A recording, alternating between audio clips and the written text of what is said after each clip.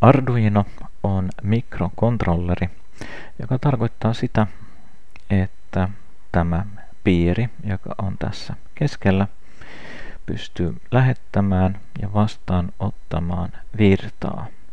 Ja se tekee sen näiden porttien pinnien kautta. Arduino Uno on yksi malli näistä monista Arduinoista ja Unosta on olemassa myös klooneja, eli näyttävät täsmälleen samanlaisilta. Siinä on samanlaiset piirit, mutta tämä ää, valmistaja on toinen. Tärkein piiri on tässä. Ja tämä on KIDE, joka määrää millä nopeudella tämä mikrokontrolleri toimii. Ja tämä pieni piiri vastaa siitä, että tietokoneella USBin kautta voimme lähettää näitä ohjelmia tai sketsejä. Mikrokontrolleri saa virtaa USBn liitinän kautta. Siihen voi myös liittää ulkoisen virtalähteen. Ulkoiset sensorit liitetään tähän mikrokontrolleriin ja virtaa niihin saamme näiden pinnien kautta. Eli jotkut sallivat ainoastaan 3,3 volttia, joka otetaan tästä, toiset taas 5 volttia. Ja maa tai nolla löytyy sitten tästä ground-pinnistä. Tarpeen vaatiessa tähän piiriin voi syöttää virtaa myös V-in pinnin kautta, mutta tällöin pitää olla ehdottoman varma, että virta ei ylitä sen 5 volttia.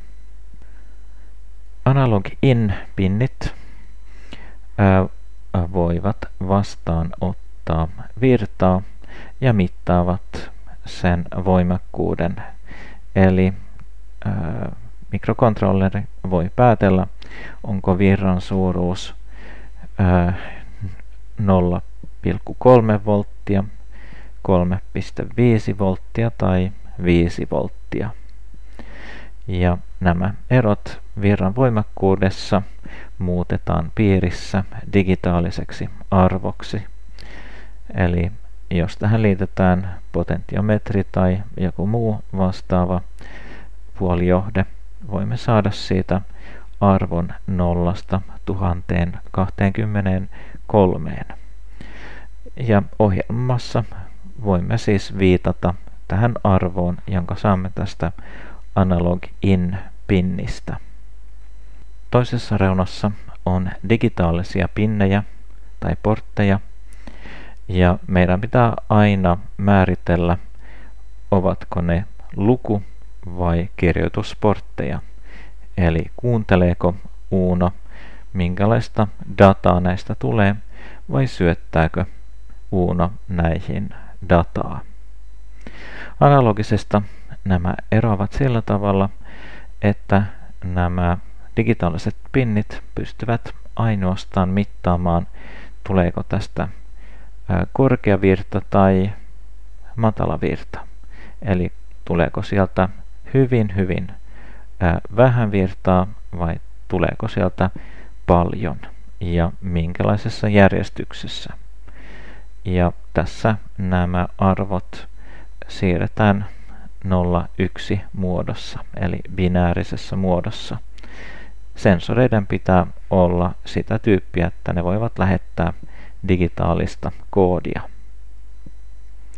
Näemme, että tässä on PWM, eli Pulse Width Modulation. Ja se tarkoittaa, että pinnit 3, 5, 6, 9, 10, 11 ovat sellaisia, joiden avulla voimme määritellä tämän digitaalisen signaalin pulssimuotoa. Eli jos kytkemme tähän pienen kaiuttimen, voimme määritellä tämän äänen taajuuden. Eli näiden pinnien avulla voimme määritellä sen aikaviiveen, sen pituuden, kuinka kauan signaali on ykkösessä tai nollassa.